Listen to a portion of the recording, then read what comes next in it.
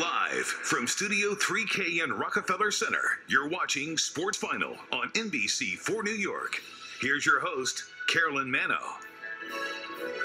Long Island University has a new men's basketball head coach, and he should be a familiar face to some. He was the Knicks' first round draft pick back in 1988 and played 17 seasons in the NBA. He ranks 13th all time in assists, and it is a pleasure to welcome Rod Strickland to the show. Rod, thanks so much for being with me. First of all, congratulations. What are you most excited about with this new appointment? Uh, first, thanks for having me. It's a pleasure. Uh, I'm just I'm just looking forward to leading uh, to, to, to be in that seat, that, that front seat, uh, and, and just to lead a group of young men, help develop them, uh, on and off the court, but I'm, I'm just looking forward to the challenge.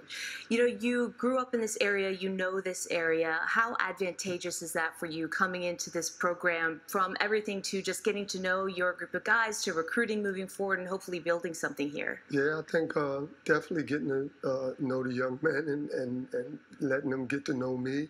Uh, but just being from New York, a lot of friends, a lot of allies, uh, you know, and I also, you know, I've been in college uh, prior, also just finished with Team Ignite, which which was a great experience, and I think uh, just all of those uh, situations and people that I've met along the way, uh, I think they understand that I'm about young people.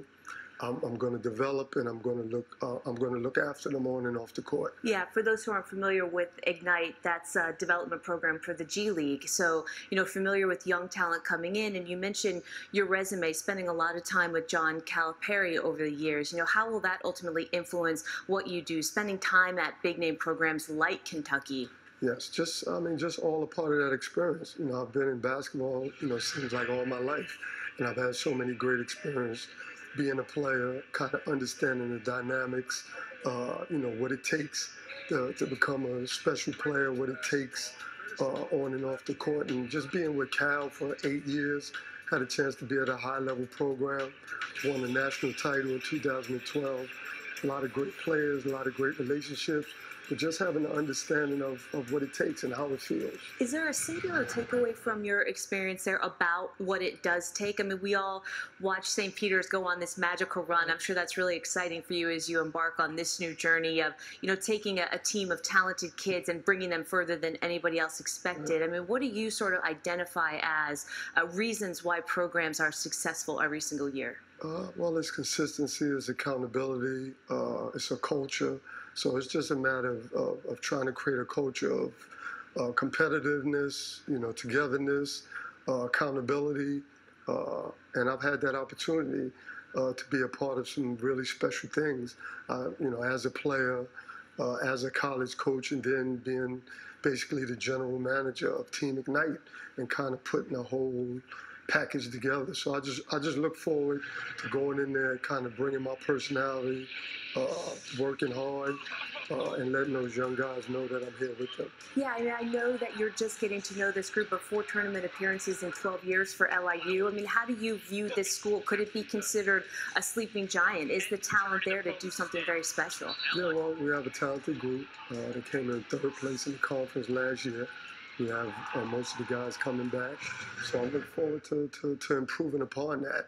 Uh, you know, I had a chance to talk to the guys as a group and also individually, uh, and and it was good. You know, I mean, it was a tough adjustment for these guys. You know, the coaching change mm-hmm. at this point of the year.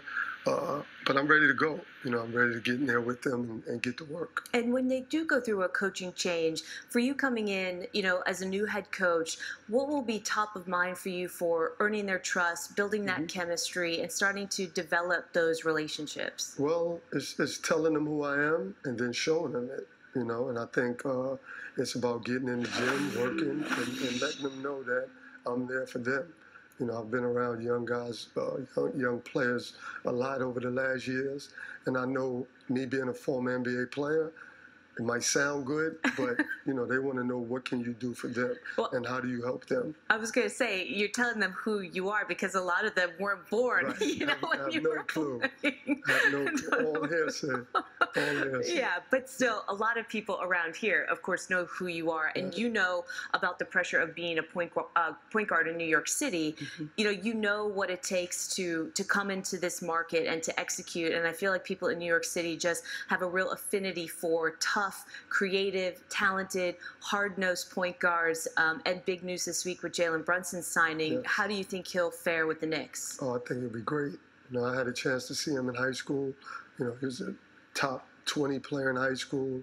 Uh, he had a great college career, and he's a winner. I think if you look at Jalen, every place he's gone, he's won. Uh, he knows how to play. You know, being in the NBA, you know, talent is everything, but knowing how to play uh, makes a big difference. And Jalen has a great IQ. I think he'll fit in anyway. He can score the ball. You know, he has a feel for basketball, so I, I think it'll be great. So he, in your opinion, is worth the price tag. They were looking for him. They needed that point guard. They certainly paid him, but you think that that will ultimately pay off. Well, you're worth what they paid. So if they paid him that, he's worth that. But I think he, you know, he's going to be really good for the Knicks. He's a solid uh, young man. I know his father. Uh, so the Knicks are getting a, a, a great player. Yeah, I love the memories that he talks about as a child, where he had the Knicks jersey as a toddler and he was shooting on the court at MSG, and to see those memories kind of come to fruition in this way is really special for both him and his father. Uh, before we let you go, Rod, what can fans expect from an LIU coach Rod Strickland team? Well, we're going to play hard. You know, we're going to play hard. We're going to try to uh, fast-paced game, play hard. We're going to compete, uh, and we're going to try to win as a team. Wish you all the best. Thanks for being with Thank us. you. I know you got a lot of work to do. I won't hold you here one second longer uh, because basketball season, of course, is not that far away. Rod, thank you very much. Thank you. Thanks for having me. That's Rod Strickland, who will make his head coaching debut November 7th when the LIU Sharks travel to Utah. Their non conference schedule also includes a matchup with St. John's as well. Great to have that conversation.